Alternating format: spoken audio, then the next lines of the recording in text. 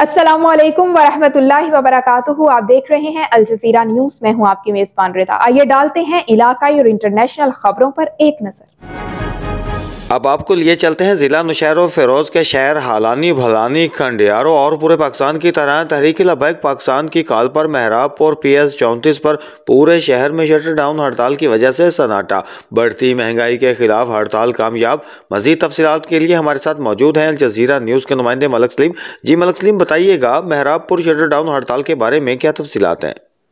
जी, बिल्कुल। इस वक्त मैं मौजूद हूँ तालका मेहरापुर में। यहाँ पर पाकिस्तान, तहरीक लबैक, साद रजवी की कॉल पर महरापुर पी एस चौंतीस तहरीक लबैक की तरफ़ से बढ़ती हुई महँगाई और पेट्रोल की कीमतों में इजाफे के खिलाफ मुल्क भर की तरह महरापुर गुड़ मंडी शाही बाज़ार, कपड़ा मार्केट, फर्नीचर मार्केट और पूरे शहर में शटर डाउन हड़ताल की वजह से सन्नाटा रहा।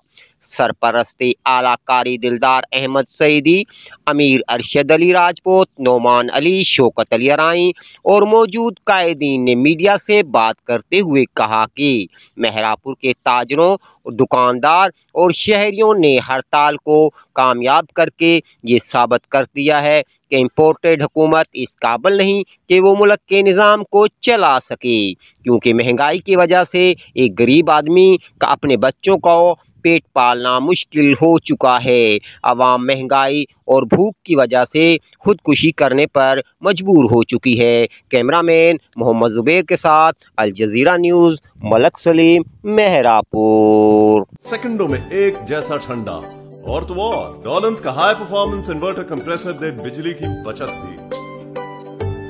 क्योंकि डॉलन्स रिलायबल है।